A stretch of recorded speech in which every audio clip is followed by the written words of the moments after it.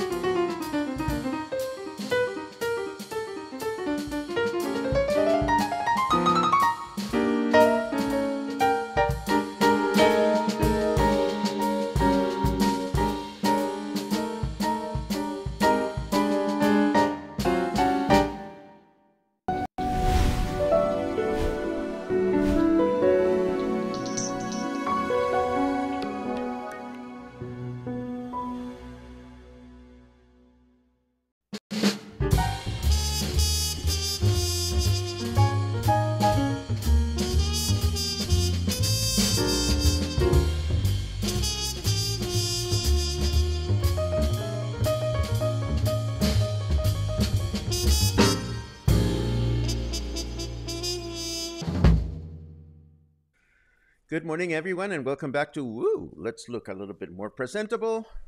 That's better. Good morning. Wake. Um, welcome. Let's try again. Good morning, everyone. Welcome back to Coffee and Headlines. This is our morning get together where we take a look at headlines from our city, from our state, from our country. Ooh, there's some nasty headlines today that I want to share with you. And of course, we also take a look at your own comments, ideas, suggestions, and questions about how to best live in Puerto Vallarta, well connected, well nurtured as a community of English speaking locals. So, this is what we do, and today is December 15th. It's no exception. So, we are going to, as always, go through our news. But before we do that, um, we are going to first uh, remind you that if you want to uh, let us know that you are new to the broadcast. We'd love to welcome you, and we can do that if you write the word new in your comment. If there's something truly important that you wish to bring up, it helps a great deal if you add the letter Q at the beginning of your comment or question. And of course, today is Wednesday, but hey, we had a walk yesterday, so we might as well have Taco Tuesday today. Although it's um, it's a slightly botched Taco Tuesday, as you will see once we get to that. But first, let us get into the news. Then we'll look at the weather as always. And then we'll look at all your wonderful comments and your good mornings.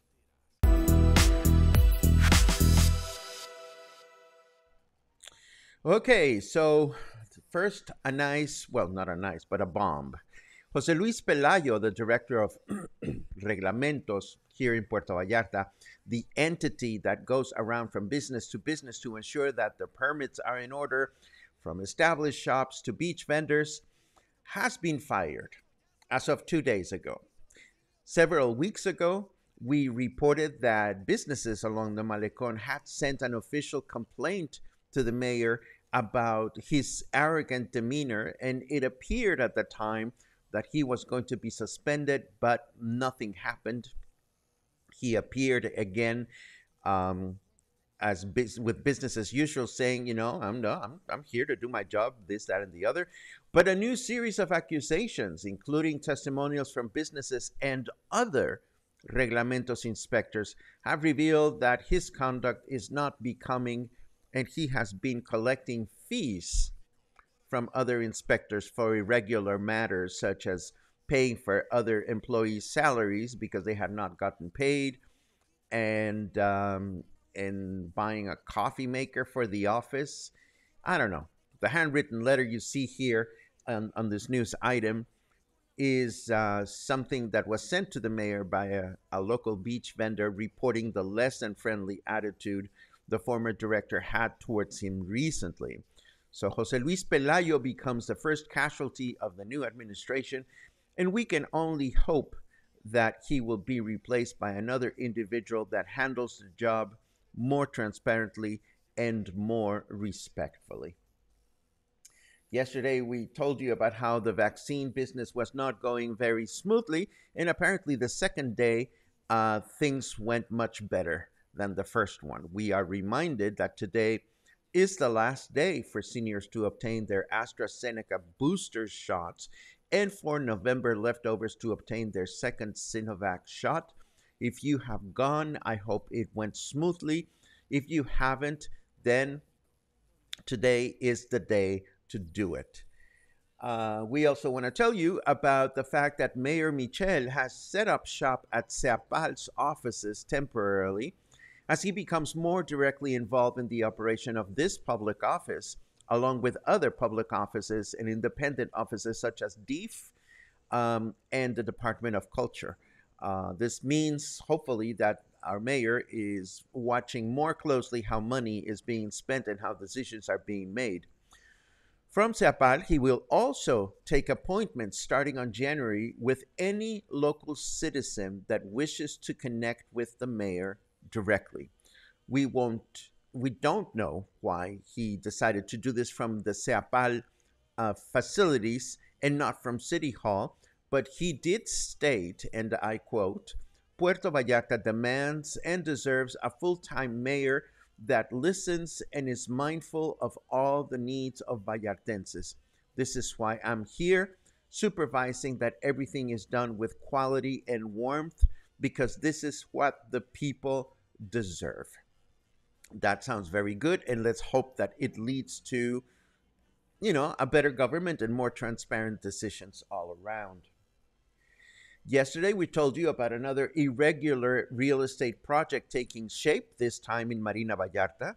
And today, we learned that the judge that had been working on the development's behalf, that is, allowing for the development to carry on, has been singled out previously and a number of times for approving as much as 17 irregular real estate projects and a number of gas stations in Guadalajara and Zapopan um, apparently, acting against this particular judge uh, is um, in the hands of the state system against corruption. This particular office would be the office to do something about this.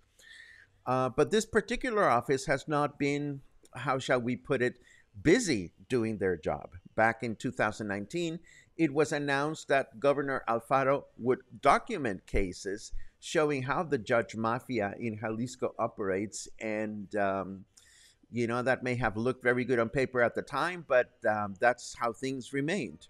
Between 2016 and 2021, that is this year, no single Jalisco judge has been removed from his or her post for wrongdoing, despite the fact that this particular judge has been accused by several municipalities in the state.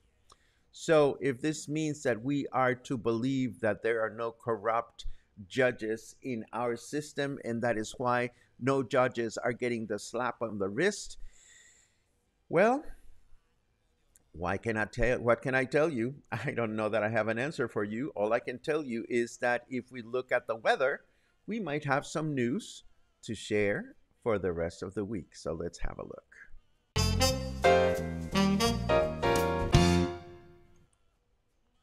I hope you'd be pleased with this weather. That way I can take more pleasure in ruining it, says our snarky carrot weather. And we now know that snarky carrot weatherman would not be a good candidate for the Reglamentos office in Puerto Vallarta. Uh, it is 26 degrees right now, Celsius, of course. Fahrenheit, our temperature in Fahrenheit degrees is 79. Humidity is at 66%. And um, our weather forecast for today shows that it's going to be humid through the day with a high temperature of 30, low temperature 18. Thursday, tomorrow, it'll be humid and partly cloudy throughout the day with a high temperature of 29, low temperature 18. And Friday, we end the week with a humid and overcast day with a high temperature of 28 and a low temperature of 18. How about that? We have more headlines to share, casual stuff, but let's see. Ah, yes. 55 years ago today, the first jet plane arrived in Puerto Vallarta. It was a flight by Mexicana. Nothing more to add here, other than time flies when you're having fun, pun intended. Okay. I thought that would be good, but it wasn't. That's okay. We share another detail about the Malecon village before we spend a little time chatting about yesterday's impromptu walk. Apparently, when the municipality realized that it was going to be a bad idea to use the casitas to sell stuff, they offered nearby businesses the opportunity to adopt the casitas and put their logos in them for a tax deductible donation. This would explain why we saw one of the casitas with Senor Frog's logo right next to the restaurant. And we also know now that the donations received by the city will apparently be used to afford a better fireworks show at the end of the year. We know that uh, the whole experience is supposed to be inaugurated today, and uh, we hope that this is a successful event for the city, um, no matter what. It's not for me, but um, I hope it makes some people happy. Um, and I wanted to talk a little bit about what went on yesterday. Yesterday, it was fun for me because it gave me the opportunity to try this new program that I'm using to do the live interviews, and it also allows me to go live directly from my phone, my iPhone, without major problems. And we saw that that part was successful, yay. But um, unfortunately, the the image stabilization on my iPhone is not the best. I don't know if it gets better with newer iPhone models, but it became clear to me when I watched the walk from yesterday that it was not fun to watch. I mean, the camera was really jittery, and uh, and I think we're going to be taking advantage of this feature uh, only in situations where we are doing a broadcast from elsewhere, but not necessarily moving the camera, or if we're sitting out at the malecon, but the camera is doing um, is is uh, in a static position you know, on a tripod. So don't worry, we won't do that again. I, it's clear to me that we have to continue doing the walks and we enjoy doing the walks, but we will use the usual setup that we have. Um, although it was fun to read your comments live as I was walking down the street, it was fun to get directions from you as to where I should walk next. Uh, if you have any thoughts, positive or not positive, about this, uh, if you have any comments about the walk, I would love to read them. This is all um, for the, no other purpose than to give you a better quality experience every time.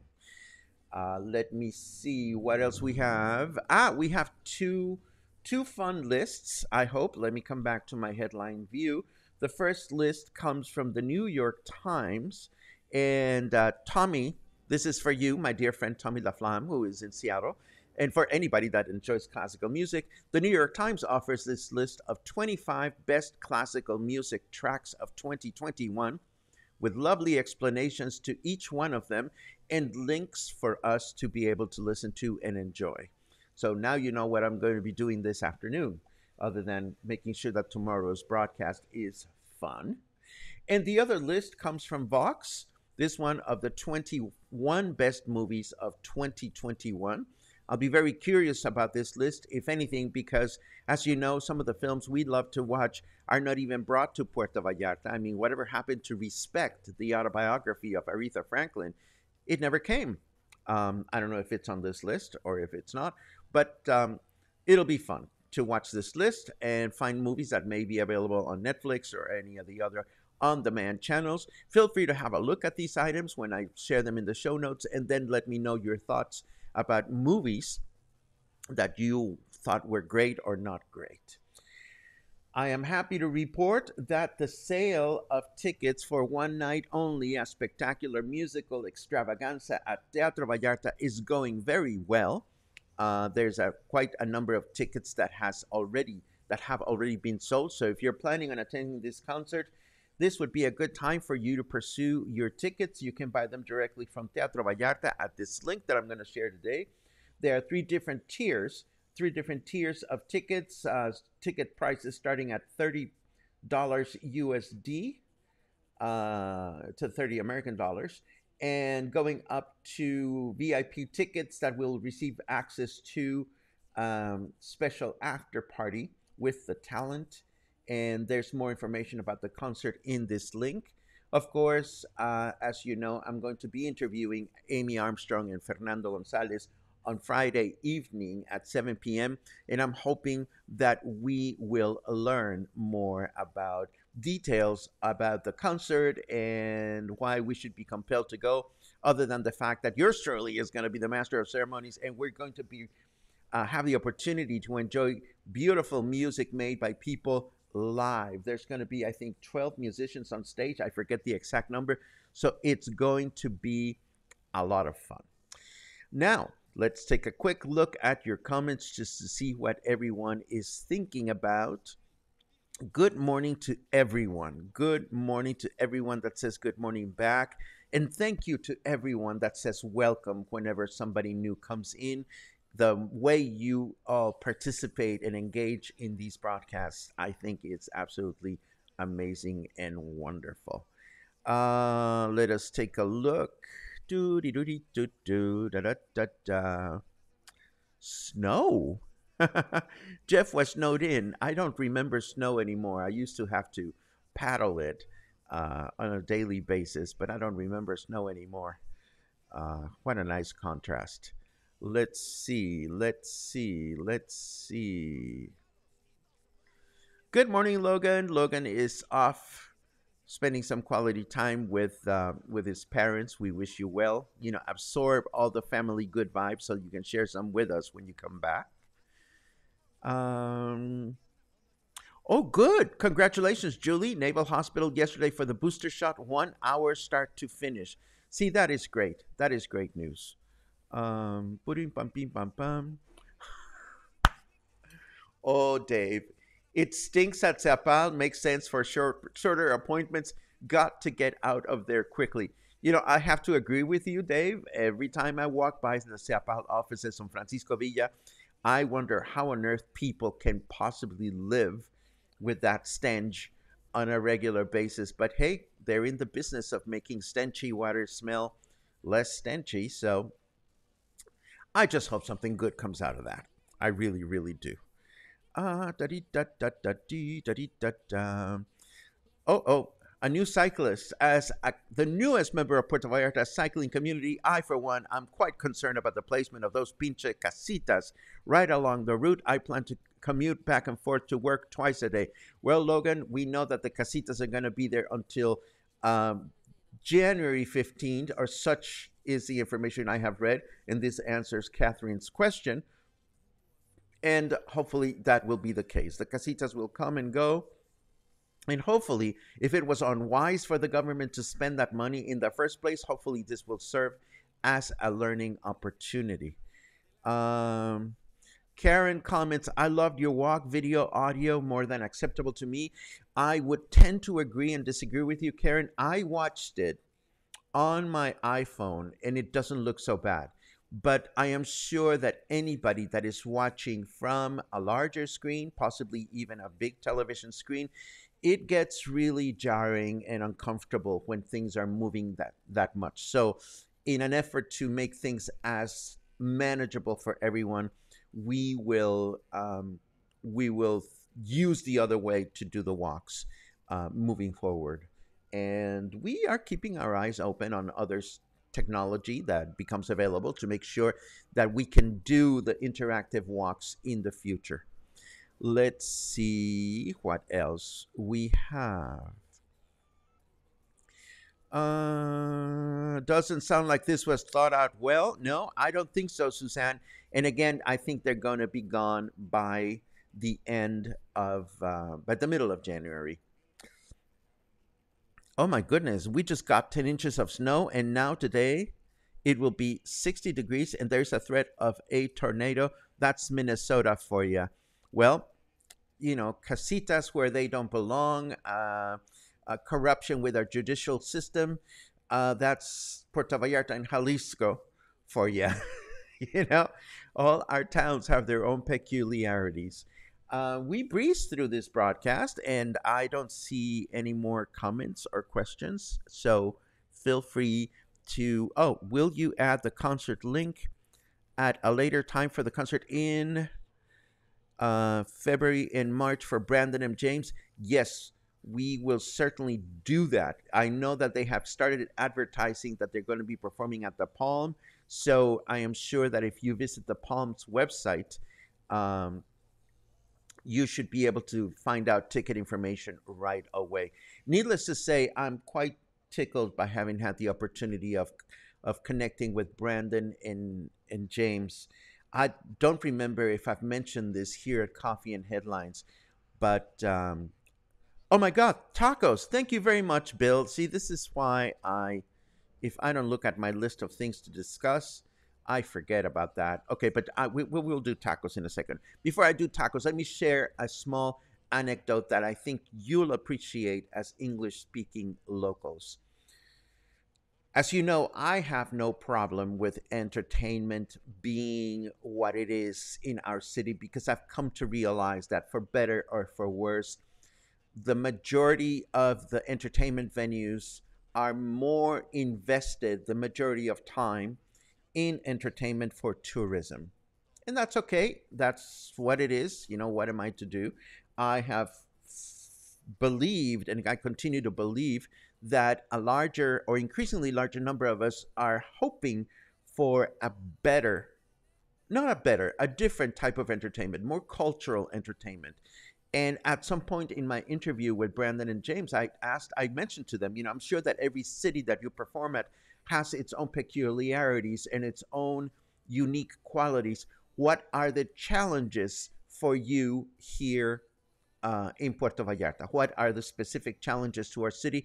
And they very politely and diplomatically said something to the effect that there is a lot of tourism entertainment here, and there are a lot they even commented there's there's a lot of drag queen acts. And i'm sure that brandon and james did not seem did not mean to say anything against this but uh, clearly i interpreted their their comment as having the uh, showing the difference between performing at cities where tourism entertainment prevails and other cities where more cultural tourism is um, available. As for me i wish that we had more cultural entertainment and cultural performances available what i mean by cultural i mean ballet music theater and so forth and so on i wonder if you have any thoughts about that and uh, you're welcome to share them with me while I talk to you about Taco Tuesday. You see, yesterday was going to be this perfect day in which I said to myself, um, I'm going to go do this walk, and this walk is going to go well. And after the walk, I'm going to go and have lunch at this taco place where I haven't been in many years, and I've been craving their tacos. Um, and and this is going to be a good addition for for uh, for Taco Tuesday. So I went to El Tacón de Marlin. Again, I have not been to El Tacón de Marlin for many, many years. So I had it in my mind because it's called El Tacón de Marlin, and we established that tacón means a ginormous taco, that I was going to be able to get a ginormous taco at El Tacón de Marlin, and I walked in, and it has not changed much from before. It's a fairly small venue. It's air conditioned, it's enclosed, but it is quite comfortable in there. And you sit down, and immediately after you sit down, you get served with this. This is a salad. Where is my mouse? There's my mouse. Uh, this is a small salad that you get, and you get lime, yum yum, and you get pickled uh, vegetables and, and, and jalapeno peppers. And so I'm sitting here thinking, wow, I'm going to, to, to love, you know, my tacos. And then the guy says to me, well, the menu's on the wall. And I look at the prices and I see that those are very high prices for tacos. And that is when I quickly remembered that El Tacón de Marlin is all about burritos and not tacos.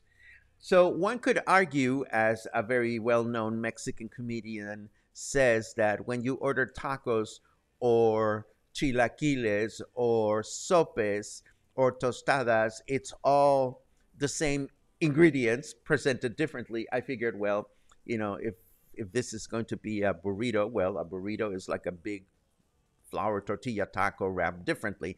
So in a way, it accounts for a Taco Tuesday, but it but it doesn't.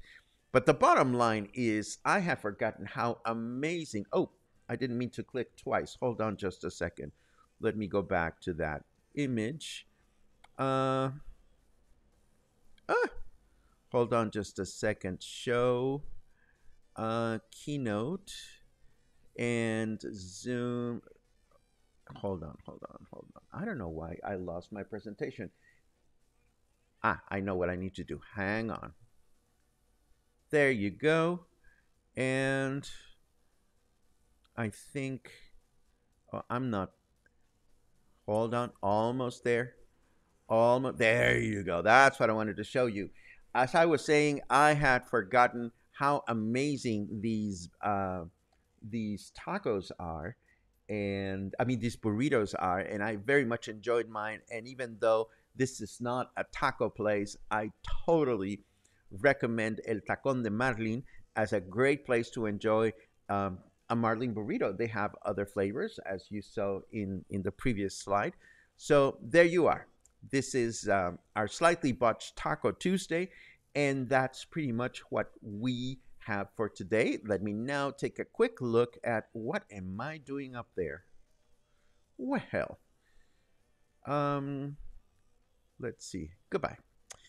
Uh, this is what we have for today. Let me see if there are any last minute comments that have shown up here. Let's see. Gina says, hello. Hello, Gina. I wonder where you are flying the friendly skies these days. Um, bam, bim, bam, bam. Jeff says, Good morning. Love your broadcast. Thank you, Jeff. Thank you for loving coffee and headlines. We love it that you love it. Um, Marie says, I wish there was a venue in PV strictly for stand up comedians. You know, there there may come the time in which we get one of those venues. I wish there was a venue in PV that was just a theater. And I wish there was a venue that was just a jazz venue. You know, I wish venues were more specialized, but maybe there's not enough market for that. Uh, what is clear to me is that and I'm going to generalize, and everybody can, or anybody can contradict me if you want. When given the opportunity, the venues that we know are more likely to go and uh, favor performances that are going to be favored by tourists because they can increase their prices and offer them at prices that look affordable to tourists. Um, if you look for and that you know is it's as simple as looking at what the ticket systems are in place at any of the venues. Teatro Vallarta charges in pesos, as they should, but if you look at any of the other uh, venues, they all have ticketing systems that charge in dollars, American dollars. And why is that? You know, if we're in Mexico, but that's a completely different different uh, story. We're not going to go there today.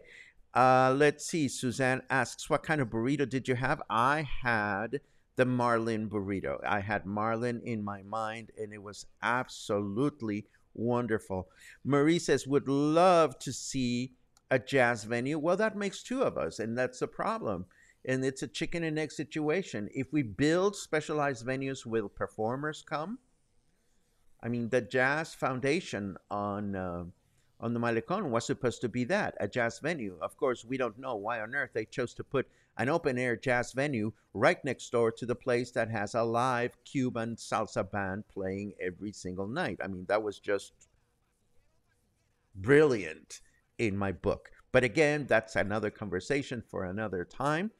And um, and I think this does bring us to the end of our broadcast. Now that I have remembered to show you uh, the burrito that I had yesterday. So there you have it. This was our broadcast for this hump day. If you enjoyed it, um, or if you found information that was useful or that made you laugh or anything, you know where to support our broadcasts. If you didn't, well, let us know what kind of content you'd like to see here. We're always looking for your comments and your suggestions. And um, and I see that there's, there's there's a lot of people Okay, these are great comments all of a sudden. See, I'm going to agree and disagree with you here, Dave, only because Le Bistro is a restaurant. And when you have jazz, uh, well, people are eating, you're either going to be eating or you're going to be paying attention to the music. And I know that that situation is good enough for some musicians, but, you know, I would not expect Wynton Marsalis, you know, to be background music while I'm eating because, you know, that's just not who Wynton Marsalis is. And we're never going to have the likes of Wynton Marsalis uh, in Puerto Vallarta or great jazz vocalists or this, that, and the other, as long as we don't have a dedicated venue that is respectful of the quality of music we are hoping to get. Um, tun tun tun tun tun. Tun tun tun tun tun. The tickets have also gotten quite expensive. Uh, well, again, uh, we we know this. We know this, and I know. I will say that paying thirty dollars for the er, the least expensive tickets at Teatro Vallarta doesn't seem expensive to me, considering the quality of talent that we're going to see, and considering the fact that we're going to see live musicians perform spontaneous live music for us. But when I see other shows in town, I didn't even say concerts, other shows that are charging well, nah, let's not have this conversation today. But um, but hopefully, you know, things will change for the better for those of us that are here living as locals. That's it. That's what I have for today. So um, yeah. enjoy yourselves. Stay happy. Stay kind. Buy tickets for Amy's concert. It's going to be a lot of fun. And I will see you again tomorrow. And if not tomorrow, sometime soon.